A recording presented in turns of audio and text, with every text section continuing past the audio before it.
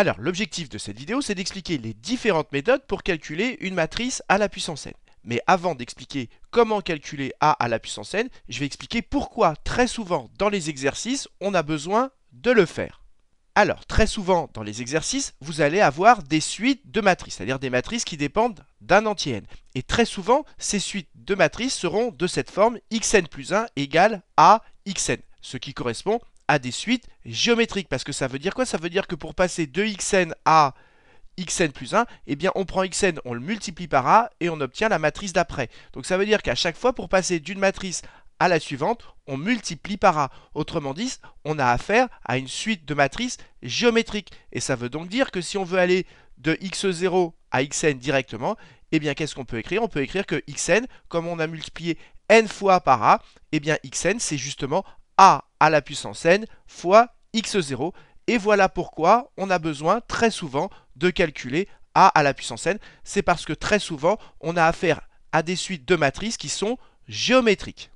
Alors, au passage, je voudrais donner quelques petites précisions sur a à la puissance n. D'abord, quand on calcule a à la puissance n, a c'est une matrice carrée, toujours une matrice carrée. Et deuxième chose, a à la puissance n, bah, ça veut dire quoi? Vous l'avez compris, ça veut dire a fois a fois a, n fois. Donc n ici, c'est un entier naturel positif. Et par convention, si n vaut 0, eh bien a à la puissance 0, ça vaut l'identité, la matrice identité, c'est-à-dire la matrice où il n'y a que des 1 sur la diagonale et des 0 ailleurs. Alors la deuxième chose à comprendre, c'est qu'il n'y a pas de règle générale pour calculer a à la puissance n quand a quelconque. Mais il y a des matrices qui sont très faciles à calculer à la puissance n, ce sont les matrices diagonales. Donc la première chose à comprendre avant d'étudier le cas général, c'est comment ça se passe pour calculer a à la puissance n quand la matrice est diagonale, c'est ce qu'on va expliquer tout de suite. Alors prenons cette matrice et multiplions par elle-même. Donc là on est en train de calculer a au carré. Donc ça fait 2 fois 2, ça fait donc 4, donc 2 au carré, plus 0 fois 0, donc là, ça fait plus 0. Ici, 2 fois 0, ça fait 0. Plus 0 fois 3, ça nous fait 0. Ce coefficient ici, ça fait 0 fois 2, ce qui fait 0. Plus 3 fois 0, ça fait 0. Et ce coefficient qui est là, bah, ça fait 0 fois 0, ce qui fait 0. Plus 3 fois 3, 3 au carré. Et qu'est-ce qu'on observe? C'est que quand on prend la matrice euh, diagonale et qu'on a multiplié par elle-même, eh bien ici, regardez, vous avez A au carré. Si j'appelle ce coefficient, je l'appelle A, et bien ici vous avez A au carré. Si vous avez B ici, vous avez B au carré. Et vous vous doutez bien que si je remultiplie cette matrice par elle-même, et bien ici j'aurai 2 puissance 3, et ici 3 puissance 3. Autrement dit, quand on prend une matrice diagonale et qu'on la calcule à la puissance n, et bien ici vous aurez 2 puissance n, et ici vous aurez 3 puissance n. Ça c'est très facile à démontrer, et pour le démontrer, on le fait par récurrence. Et donc la première chose à comprendre, c'est que si je prends une matrice A diagonale et que je calcule A à la puissance n, et eh bien ici j'aurai 2 puissance n et ici j'aurai 3 puissance n. Et je répète que pour démontrer cette propriété que A puissance n c'est ceci, on le fait par récurrence.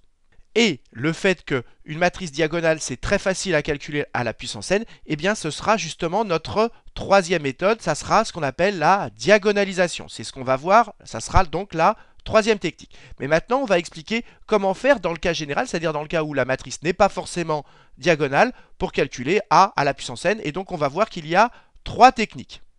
Alors, première technique, c'est la plus simple. On vous donne la matrice A, on vous dit combien vaut A puissance n, et on vous demande de le démontrer. Et pour le démontrer, eh bien, on utilise un raisonnement par récurrence, c'est ce qu'on va expliquer tout de suite. Alors, rappelons rapidement le raisonnement par récurrence. Trois étapes. Première étape, l'initialisation. C'est-à-dire qu'on va vérifier que cette formule est vraie pour la plus petite valeur de n. Donc ici, comme n c'est un entier positif, la plus petite valeur c'est 0. Donc on remplace n par 0. Donc ici, 2 puissance 0, ceci ça va faire 1. Et 2 moins 1, 2 moins 1, ici ça fait 1. Donc on obtient 1 pour ce coefficient. Ici, je remplace n par 0 ça fait donc 1. 1 moins 1, ça fait 0. Donc ici, on obtient 0. Si on fait le calcul, vous verrez qu'ici, on obtient 0. Et ici, on obtient 1. Donc finalement, si on remplace n par 0, on obtient des 1 sur la diagonale et des 0 ailleurs. On obtient donc la matrice identité d'ordre 2, puisque c'est une matrice 2 sur 2. Donc on obtient I2. Et par ailleurs, ici, on remplace n par 0, donc on obtient a à la puissance 0, et on a vu par convention que ça fait la matrice identité. Donc on a la partie gauche qui est égale à la partie droite, il n'y a plus qu'à le rédiger, donc l'initialisation est vraie. Et maintenant on passe à l'hérédité. Alors, l'hérédité, comment on procède? On part de notre hypothèse de récurrence, c'est-à-dire que a à la puissance n c'est égal à ceci, et va falloir montrer que cette propriété est encore vraie au cran d'après, c'est-à-dire que a à la puissance n plus 1, eh bien c'est la même chose, sauf qu'à la place d'avoir n, il va falloir montrer qu'on a n plus 1. Et donc, ce qu'il va falloir calculer, c'est a à la puissance n plus 1. Et comment on fait pour passer de a à la puissance n à a à la puissance n plus 1 Eh bien, qu'est-ce qu'on fait? C'est tout simplement, on multiplie par a. Donc, qu'est-ce que je fais pour calculer a à la puissance n plus 1 je, je pars de mon hypothèse de récurrence, que a à la puissance n, c'est égal à ceci, et je multiplie par a pour avoir a à la puissance n plus 1. Et ce que j'espère, c'est qu'en faisant ceci, à chaque fois que j'ai n, je vais avoir n plus 1. Alors, allons-y, regardons, faisons le calcul. Donc, je vais multiplier cette matrice-là par A, qui est ici. Donc, ça fait ça fois ça. Donc, comme il y a 0, ça fait 0.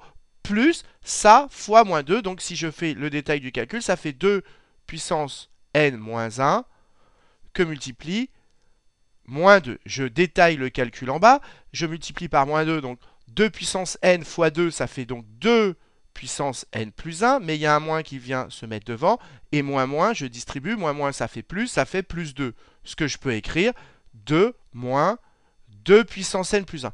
Voilà le coefficient qu'on obtient là. Donc regardez, avec a à la puissance n, j'avais 2 moins 2 puissance n plus 1, 2, 2 pardon, moins 2 à la puissance n, et maintenant quand je calcule a à la puissance n plus 1 au cran d'après, j'ai exactement la même chose, mais au lieu d'avoir n, j'ai n plus 1. Et si vous faites le calcul pour ces coefficients, ces autres coefficients, ça marche également. Donc je ne le fais pas, ça sera corrigé dans un exercice euh, dont le lien va apparaître ici en haut à droite. Moi, je vous ai fait uniquement le premier coefficient. Vous pouvez faire les autres. Mais l'idée, c'est que on a a à la puissance n, on calcule a à la puissance n plus 1, et en faisant le calcul, à chaque fois, au lieu d'avoir n, il faut qu'on obtienne n plus 1. C'est exactement ce qu'on a obtenu ici. Donc la première technique, celle où il y a le moins de réflexion, c'est qu'on vous donne A, on vous donne A puissance n et vous avez juste à démontrer la formule qu'on vous donne et en général on le fait par récurrence exactement comme je l'ai expliqué à l'instant. Et une fois que vous avez obtenu a à la puissance n plus 1 en obtenant n plus 1 à la place de n partout, eh bien il n'y a plus qu'à faire une phrase de conclusion en disant que comme la propriété est vraie au rang 0 et qu'elle est héréditaire, par récurrence on a déduit que la propriété est vraie pour tout entier n naturel. Alors maintenant expliquons une deuxième méthode. C'est quand on a une matrice d'utiliser ces propriété. Mais là, vous serez guidé. Alors prenons par exemple cette matrice. Cet exemple, il est très classique. Ce qu'on va essayer de faire souvent, c'est d'écrire la matrice qu'on doit calculer à la puissance n sous la, sous la forme d'une somme de deux matrices qui, elles, sont très simples à calculer à la puissance n. Donc ça, c'est quelque chose de très classique. On essaye d'écrire la matrice A sous une somme, par exemple, sous la forme d'une somme de deux matrices qui, elles, sont très simples à calculer à la puissance n. Mais je répète, souvent vous serez guidé pour écrire, pour décomposer la matrice A sous la forme d'une somme. C'est ce qu'on va voir maintenant. Alors regardez, c'est exactement ce qui se passe dans cet exercice à la question 1. On vous demande de calculer B qui est quoi? Qui est cette matrice A moins la matrice identité. Donc qu'est-ce qu'on fait? Je l'ai fait ici, je prends ma matrice A, j'enlève la matrice identité. Qu'est-ce qu'on va obtenir? Ben, 4 moins 1, ça fait 3. 3 moins 0, ça fait 3. Moins 3 moins 0, ça fait moins 3. Et moins 2 moins 1, ça nous fait moins 3. Voilà, donc ici vous avez la matrice B. Et vous allez voir que cette matrice B, elle a une propriété très particulière, c'est que si vous calculez B au carré, eh bien vous allez tomber, vous allez tomber sur la matrice nulle. Donc vous pouvez le vérifier, si vous faites cette matrice-là fois elle-même, vous obtiendrez la matrice nulle, c'est-à-dire la matrice avec des zéros partout. Et à partir de cette propriété, eh bien maintenant je vais vous expliquer comment on va faire pour trouver A à la puissance n. Alors déjà, il faut comprendre que ici, on a B en fonction de A. Et donc nous, on va inverser cette formule, on va isoler A. Donc déjà, écrire que B c'est égal à A moins l'identité, ça veut dire que A c'est égal à B plus l'identité. Et regardez maintenant, qu'est-ce que je vais faire? On me demande de calculer A à la puissance n. Donc si j'ai pas d'idée, ben, je commence par calculer A carré. Donc ça veut dire que je prends A, B plus l'identité, que je multiplie par elle-même, B plus l'identité, et puis je vais développer et je vais utiliser la propriété que B carré, c'est la matrice nulle. Et voyez qu'ici, ça va faire apparaître DB carré. Alors, allons-y, je développe, B fois B, ça nous fait donc B carré, mais ceci, c'est égal à la matrice nulle que je note 0, plus B fois l'identité, mais B fois l'identité, ici, quand vous l'identité, c'est l'élément neutre de la multiplication, donc B fois I, c'est ça fait B, c'est comme si vous multipliez entre guillemets par 1, donc ça fait plus B, plus I fois B, pareil, I fois B ou B fois I, ça donne toujours plus B, plus l'identité fois l'identité, comme l'identité c'est l'élément neutre, c'est l'équivalent du 1, ça me donne l'identité. Donc finalement, ça fait b carré, ça fait 0, il me reste 2b plus i. Voilà combien vaut a carré. Alors, si on ne voit pas ce qui se passe, eh ben on continue, on calcule a à la puissance 3. Et a à la puissance 3, c'est quoi? C'est tout simplement a carré fois a. Donc on reprend notre formule avec a carré, donc ça fait 2b plus i, qu'on multiplie par A, c'est-à-dire B plus I. À chaque fois, A, on le remplace par B plus identité, I2. Et puis, on développe. Ça nous fait 2B carré. Mais 2B carré, ça, ça fait la matrice nulle. Ensuite, je développe. Ça me fait 2B fois I, 2B. Je fais 2B au brouillon fois I. Bah, ça me fait 2B. Plus I fois B plus I fois B, ça nous fait comme à chaque fois I c'est l'élément neutre, et ben ça fait B plus l'identité fois l'identité, c'est-à-dire i. Et qu'est-ce qu'on observe? Eh bien ça, ça fait matrice nulle. Il reste 3b plus i. Et donc, qu'est-ce qu'on observe? Que quand on calcule a carré, ça fait 2b plus i. Que quand je calcule a puissance 3, ça fait cette fois-ci 3b plus i. On se doute que, on conjecture donc que quand on calcule a puissance n, ça va sans doute faire nb plus i. Et ensuite, ça, il n'y a plus qu'à le démontrer par récurrence. Et cet exercice, si vous voulez voir la correction, eh bien le lien va apparaître ici en haut à droite. Mais essayez d'ores et déjà de faire la démonstration de A puissance n. Donc, si on récapitule la deuxième méthode, en général, on vous fait écrire A sous la forme d'une somme de deux ou trois matrices qui sont très simples à calculer à la puissance n. C'est ce qu'on fait ici. On écrit A sous la forme B plus I2. Et la propriété très intéressante, c'est que B carré, c'est la matrice nulle. Et après, qu'est-ce qu'on fait? Eh bien, on conjecture que A puissance n, c'est NB plus I. Et après, ceci, il n'y a plus qu'à le démontrer par récurrence. Mais là, c'est très simple. Vous partez de l'hypothèse de récurrence, vous multipliez par A partout, des deux côtés. C'est-à-dire qu'au lieu de multiplier par A, eh bien, vous multipliez en fait par B plus I2 des deux côtés, vous développez et vous verrez qu'en développant, vous obtiendrez que A à la puissance n plus 1, eh bien ça fera n plus 1 b plus i. Voilà comment on fait l'hérédité. Donc j'insiste parce que c'est très important de prendre du recul. La deuxième méthode, vous serez guidé pour écrire A sous la forme d'une somme souvent de deux matrices dont les puissances sont très simples à calculer. Et ensuite, par récurrence, encore, vous calculez A puissance n en utilisant le fait que euh, les puissances des matrices qui sont là sont très simples à calculer. Par exemple ici, fallait penser à utiliser que B carré, c'était la matrice nulle. Donc voilà la deuxième technique. Alors, la troisième technique, c'est une technique extrêmement classique. Là encore, vous serez guidé. On va vous donner une matrice A et on va essayer d'écrire la matrice A sous la, à l'aide d'une matrice diagonale. Et donc, en général, on va vous donner, ça ne sera pas à vous de le trouver, on va vous donner une matrice P. On, va, on vous demandera de vérifier que, premièrement, cette matrice P est inversible.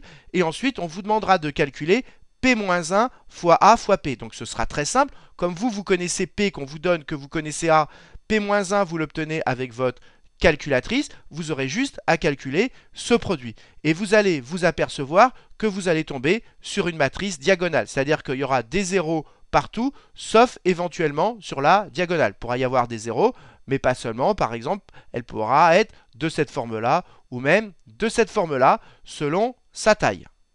Et ensuite, une fois que vous aurez compris que P-1 AP c'est une matrice diagonale, eh bien il faudra inverser cette formule, il faudra isoler A. Alors comment on fait pour isoler A? Eh bien d'abord il faut se débarrasser du P-1. Qu'est-ce que je fais? Eh bien je multiplie par P à gauche, je multiplie par P à gauche, parce que je sais que P fois P-1, ça fait quand on multiplie une matrice par son inverse, ça fait l'identité. Donc ici, ça fait l'identité. Et quand on multiplie tout par l'identité, eh bien, il reste que la partie droite. Donc il reste AP égale P fois D. Et pareil, je vais me débarrasser du P ici. Bah, Qu'est-ce que je vais faire?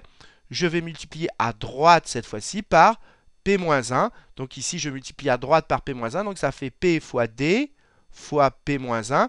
Ici, ça me fait la matrice identité, et donc il me reste bien A. Et donc, on a démontré que A, c'est égal à P fois D fois P-1. Donc ça, c'est la première étape. Donc la première étape réellement, c'est de démontrer que P-1 à P, c'est une matrice diagonale. Deuxième étape, c'est d'isoler A, et A, ça fait P fois D fois P-1. Et maintenant, il faut comprendre ce qui va se passer. Regardez, si on veut calculer a à la puissance n, a à la puissance n, ça veut dire que ça fait a fois a n fois, donc ça veut dire ça fois ça n fois. Donc ça fait p fois d fois p-1, fois p, je recommence, fois d fois p-1, puisque ça, c'est a à chaque fois, fois p fois d fois p-1, etc. Et le dernier, p fois d fois P-1, et ici je l'ai n fois. Mais regardez ce qu'il y a ici, il y a P fois P-1, et P fois P-1, je répète ici, euh, P-1, pardon, c'est dans l'ordre P-1 fois P, P-1 fois P, ça fait la matrice identité, et quand on a la matrice identité dans un produit, eh bien ça se simplifie. Donc ici ça se simplifie, ici ça se simplifie, à chaque fois ça va se simplifier, et qu'est-ce qui va rester? Bah, Va rester le premier P, regardez il va rester D, D, D, D puissance N, et il restera le dernier, P-1. Ce P se simplifiera avec le P-1 qu'il y a avant. Et donc il va rester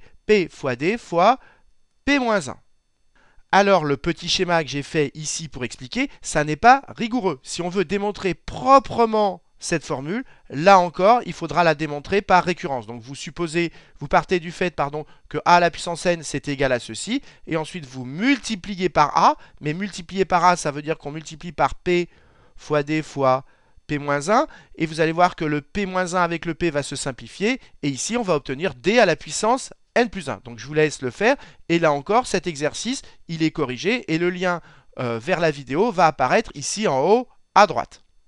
Et ce qu'il faut comprendre, c'est qu'une fois qu'on a démontré cette formule, que a à la puissance n c'est p fois d puissance n fois p-1, comme d c'est une matrice diagonale, comme d c'est une matrice diagonale, on a expliqué au départ que d à la puissance n, et eh bien par exemple si c'est 2 et 3, et eh ça fera 2 puissance n et 3 puissance n.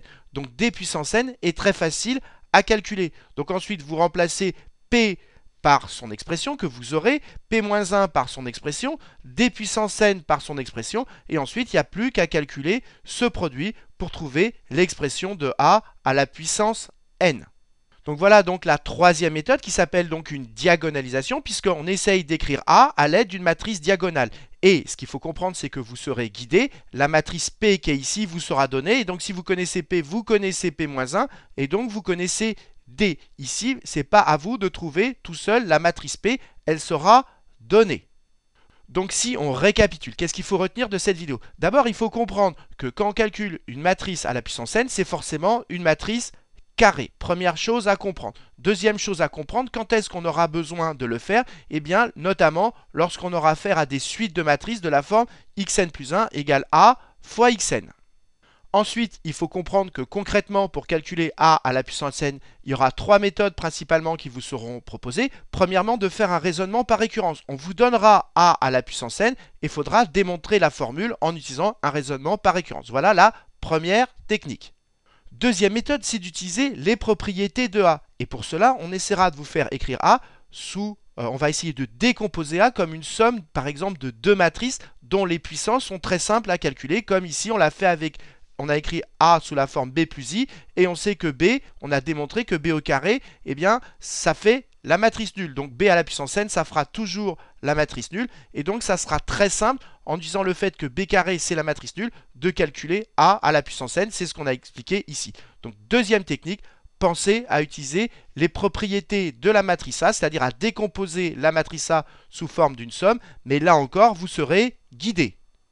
Alors, dernière technique, sans doute la plus classique, c'est d'utiliser une diagonalisation. Et là encore, vous serez guidé. On vous donnera la matrice P, on vous demandera de calculer P-1 à P, de trouver que c'est une matrice diagonale. Ensuite, il faudra inverser cette formule pour isoler P et obtenir ceci. Et ensuite, il faudra comprendre que quand on calcule A à la puissance n, eh bien les P avec les P-1 vont s'éliminer et on obtiendra ceci. Et du coup, ça c'est très simple à calculer parce que P, on le connaît, D puissance n, et eh bien comme D c'est une matrice diagonale, et eh bien à la puissance n, ça fait les coefficients sur la diagonale qui sont à la puissance n, et P-1, on le connaît. Donc ensuite, ce sera très simple de calculer A à la puissance n. Et là encore, tous ces exercices, ils sont corrigés aller voir leurs corrections après les avoir cherchées évidemment.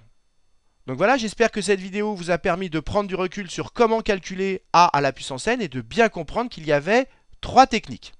Et dans la prochaine vidéo, on montrera concrètement sur des exemples quand est-ce qu'on a besoin de calculer a à la puissance n, c'est-à-dire qu'on expliquera les suites de matrices. Et comme d'habitude, si vous avez apprécié cette vidéo, n'hésitez pas à la partager et à la liker.